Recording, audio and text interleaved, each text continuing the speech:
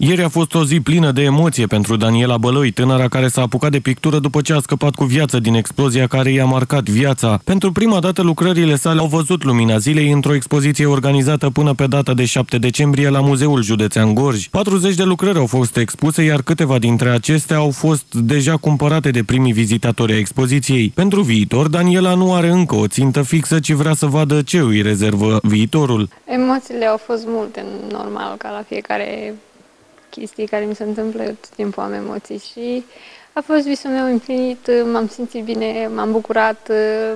Mai târziu, acum vedem ce îmi rezervă viitorul, nu pot să zic. Mie îmi place să iau lucrurile pas cu pas, să văd ce perspective am, cum merge, nu visez la ceva înalt și ca să nu mi se îndeplinească. Emoțiile au fost vizibile pe chipul pictoriței care astăzi putem spune că și-a îndeplinit visul, chiar dacă niciun reprezentant al autorităților locale nu a călcat pragul expoziției. 40 de lucrări. Eu în general am 150 și crește numărul pentru că desenez mai mereu, mai tot timpul. Sunt căutate, le-ai expus cu vânzare sau doar...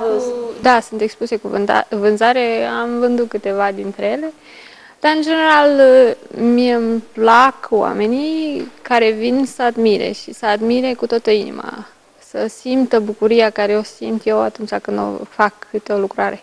Cu banii câștigați pe lucrările vândute, Daniela vrea să-și cumpere cele necesare pentru continuarea visului său.